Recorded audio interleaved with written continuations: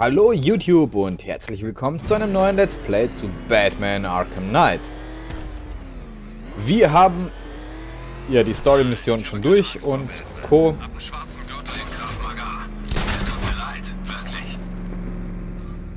Huiuiuiui.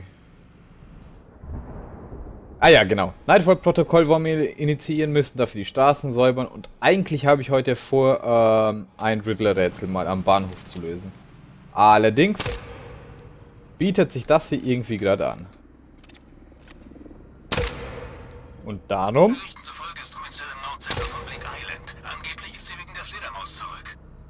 Nehmen wir das auch gleich mit. Ich dachte, ich hätte hier aber einen Sanitäter noch gesehen. Einen Sanitöter. Vielleicht habe ich mich geirrt. Ja gut. Ich kenne mich aus mit Verhören. Ich hatte da ein paar Jobs in Hasaragua mit so einem Typen namens Barrera. Der wusste, wie man Leute zum Reden bringt. Ich würde ja hier gerne mit Angst rein, aber ich habe gerade keine Idee, wie ich das machen könnte. Ich behaupte, wenn ich jetzt hier einfach runterjumpe... Saubere Mission, sagten sie. Fabrik hochjagen, untertauchen. Ah, egal. Action.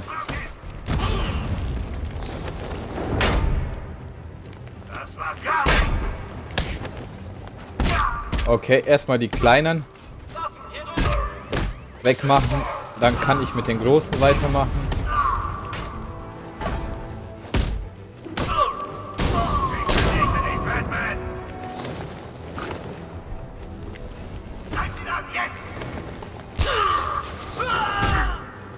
So. Okay, den Pieper, den hab ich schon.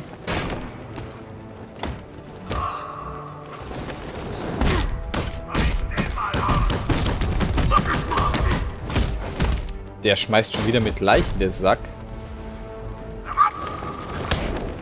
Uiuiuiui. Die, die Großen, die sind aber echt heftig.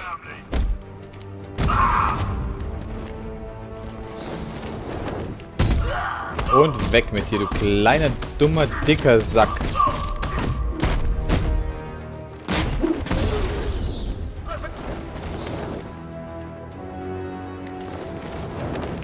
Irgendwie klappt die Kombo nicht immer. Ich weiß nicht warum, aber spielt keine Rolle. Ist gelöst. Da hinten piepst einer. Den nehmen wir natürlich mit. Ich meine, der Stützpunkt, der war gerade zu verlockend, als ihn nicht mitzunehmen. Der war gerade neben mir. Und weg damit. Drei Checkpoints sind noch übrig. Ich werde sie alle ausschalten. Die Besatzung hängt am seidenen Faden, Sir. Irgendwann wirst du mich sicher beeindrucken können, Batman. Gib nicht auf. So. Aber jetzt will ich wirklich zu dem Riddler-Rätsel. Eine Herausforderung im Cauldron Bahnhof? Also gut, Nigma. Ich spiele deine Spielchen und werde gewinnen. Selinas Leben hängt davon ab. Ich meine mal, wir haben ja hier schon so ein paar kleinere Riddler-Rätsel so am Rande mal gemacht. Allerdings noch nichts wirklich Großes. Und Catwoman hat ja immer noch das Bombenhalsband um und das ist irgendwie uncool. Das müssen wir jetzt echt mal fixen. Vielleicht dürfen wir ja dann auch mal mit dem Kätzchen spielen.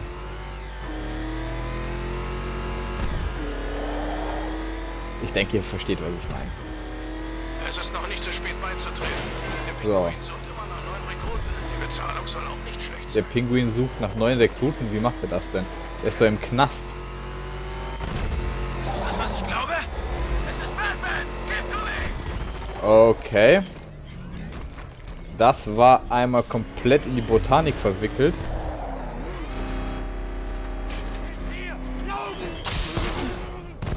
Okay, machen wir hier erstmal sauber.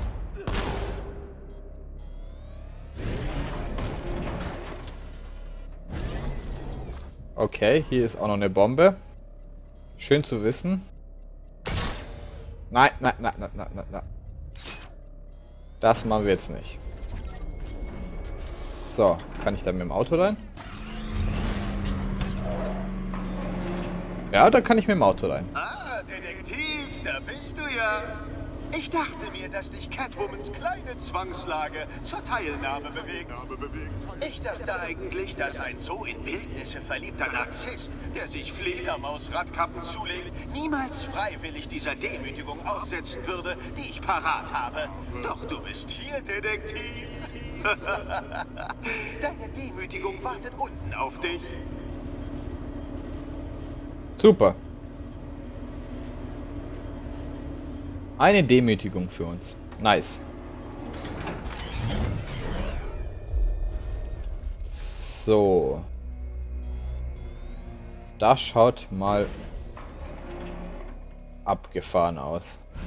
Na dann, Detektiv, es geht los. Du starrst äh, mit entsetztem Unverständnis auf einen von mir eingestellten Mechanismus, der auf einen extrem präzisen Radarimpuls reagiert.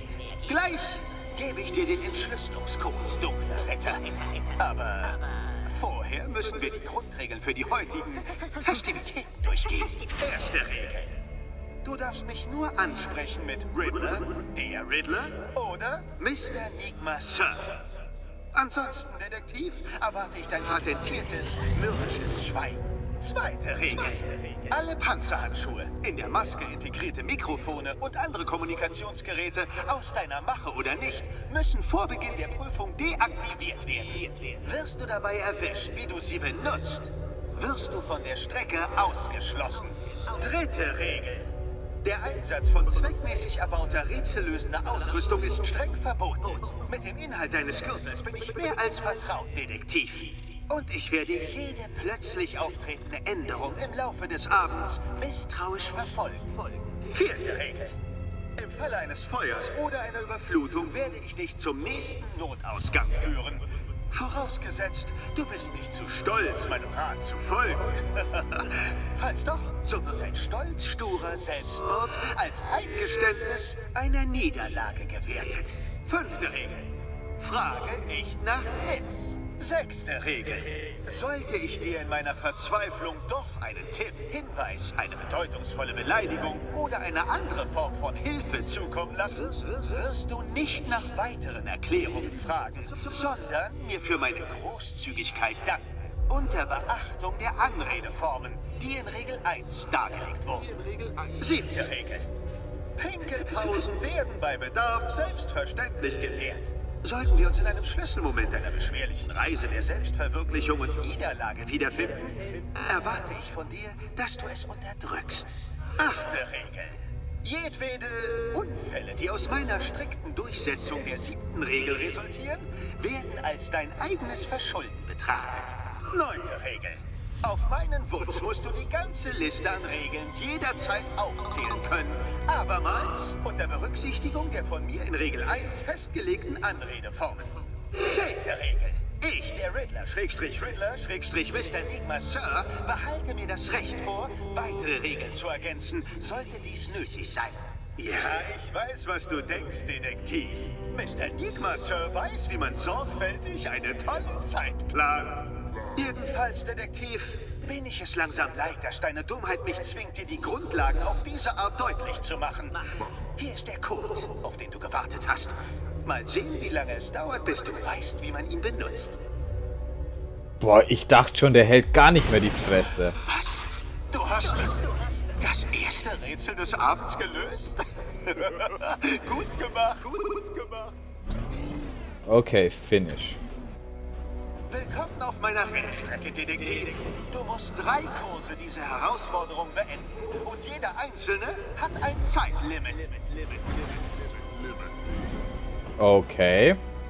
Na los, Detektiv. Testen wir doch mal dieses groteske Ego-Mobil. Mach dich bereit, Detektiv. Dieser Test verlangt mehr als bloß schnell zu machen. Okay. Finde ich jetzt schon irgendwie uncool.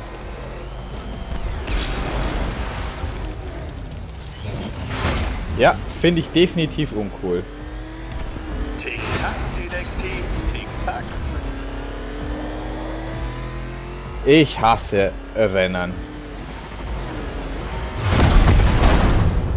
Okay. Uncool. Ob der klapprige Motor das wohl hinkriegt? Nee.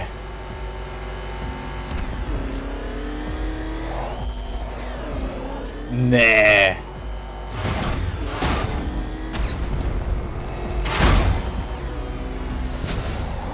Uiuiuiui. Schneller, dunkler Ritter, schneller!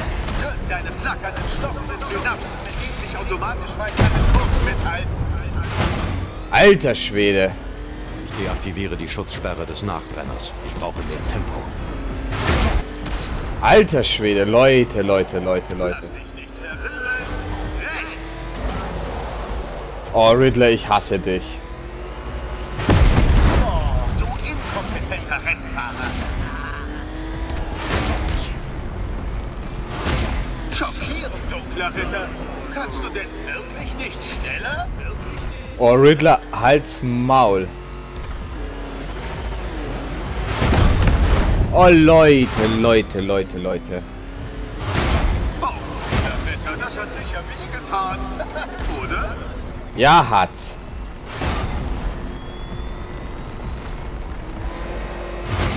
Meine Fresse. Aber wenn ich jetzt noch mal explodiere. Dunkler Ritter, verschwende nicht meine Zeit. Sie ist deutlich kostbarer als deine. Ey, wie oft muss ich das denn noch machen?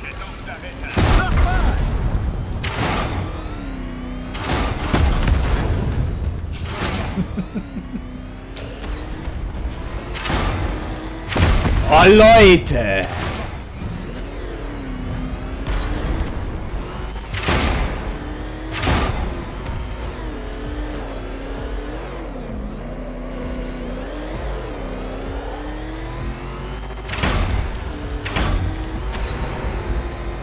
Ja. Pass genau auf, Detektiv. Geh links.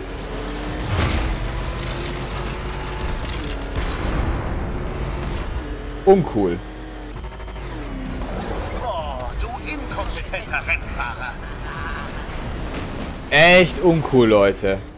Schon, Detektiv. Die Zeit wartet auf niemanden. Und ich warte nicht auf Batman.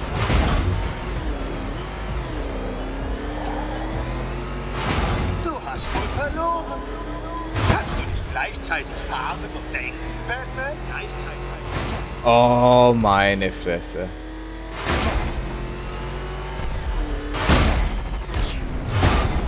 So aufgeblasen, dass du noch eine Runde versuchst? Ja, klar versuchen wir noch eine Runde. Begib dich zurück zum Start des Parcours. Echt uncool. Schneller, Batman, wie Hermes. Oder wenn du willst, der römische Abklatsch, Merkur. Echt uncool, Leute.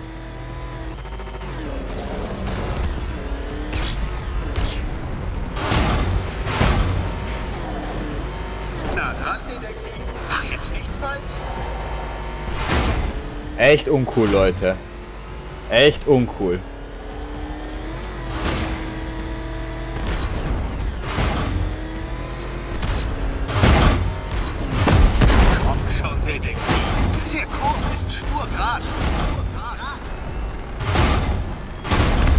Ey, Leute, ich hab so keinen Bock mehr auf den Scheiß.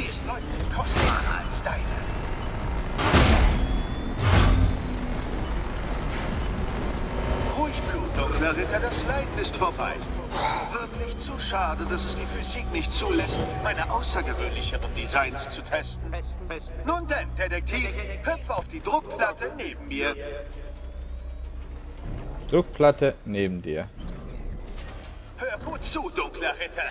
Das Leben deiner Freundin hängt davon ab.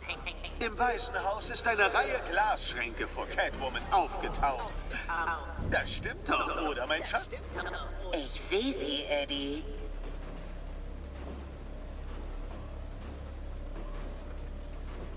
Okay. Ich sehe ein grünes Licht. Einem dieser Schränke steckt der erste Schlüssel. In den anderen weniger nützliche Schlüssel. die den einfältigen Inhalt deines Schädels an die Wände des Waisenhauses verteilen werden. Diese Aufgabe, Detektiv, ist einfach. Finde heraus, welchen Schrank Catwoman öffnen muss. Lieg nur nicht falsch. Okay. Ich schätze mal, das ist angerichtet wie die...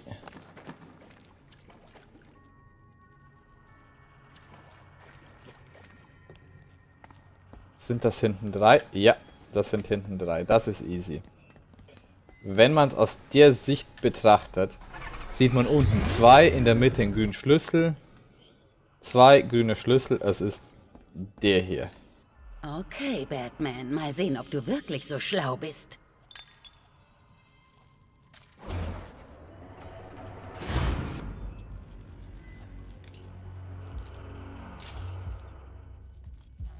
Eins erledigt. Sehr gut, ihr beiden. Ihr habt den ersten Schlüssel. Ähm, erwartet aber nicht, dass ihr euch noch viel mehr aneignen werdet. Viel mehr aneignen werdet. Was für ein Arsch.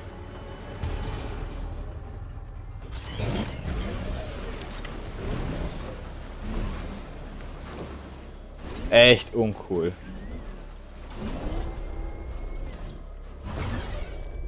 Darf ich jetzt wieder raus? Danke.